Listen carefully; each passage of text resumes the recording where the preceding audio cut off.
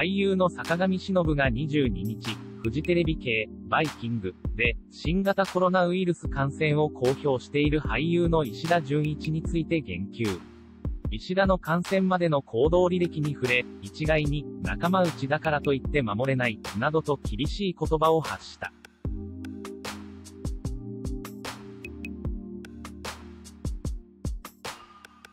番組では、一部スポーツ紙に掲載された石田のインタビュー記事を紹介。石田は自身の軽率な行動を猛省しつつ、北関東のゴルフ場で行われたプライベートコンペに参加したことや、その後の食事会で面識のない女性が、熱っぽい、などと話していたことに、勘弁してほしいなぁと思っていた、などとコメント。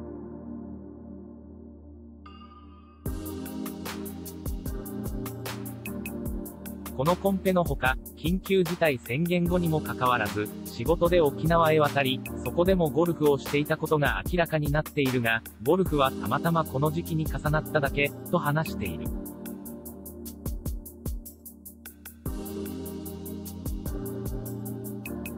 これに出演者は一様に厳しい反応。おぎやはぎの小木弘明は、ゴルフが、たまたま、重なった、っていうのは無理ありますよ。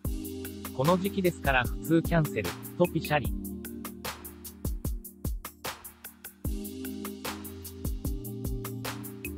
東国原秀夫も、まずは体調回復を願うと前置きした上で、やっぱり緊急事態宣言後、東京都の外に出た。これは最大の反省点だと思います。と沖縄行きに苦言を呈した。坂上は石田の告白について、謝罪もされているようなので、今自分でできることで情報発信されているのかもしれないが、面識がない女性が熱っぽくて勘弁してほしいなって思っちゃったわけでしょ。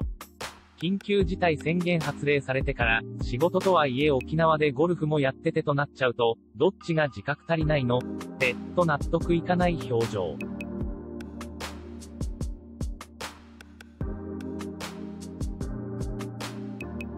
さらに、世の中の空気としては、感染されてしまった方をああだこうだ言わない方がいいっていう空気になっているわけで、僕も気持ちはわかる。と、感染してしまった人を責める気持ちは毛頭ないとしながらも、ただそこには必ず、自粛ですから、自粛に沿った動きを制限していたことが条件じゃないけども、そうしている中でも誰しも映ってしまうんならわかるが。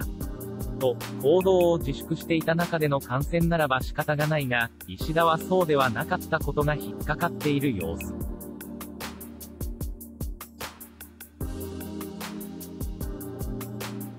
そして、特に僕らは行動バレちゃ。見られてる、と芸能人は特に行動に気をつける立場であるとも説明。また石田が宿泊したと思われる沖縄のホテルも休業していることから、僕らもより自制しないといけませんし、一概に仲間だからといって、安易には守れない、と石田の行動に厳しい言葉を投げかけていた。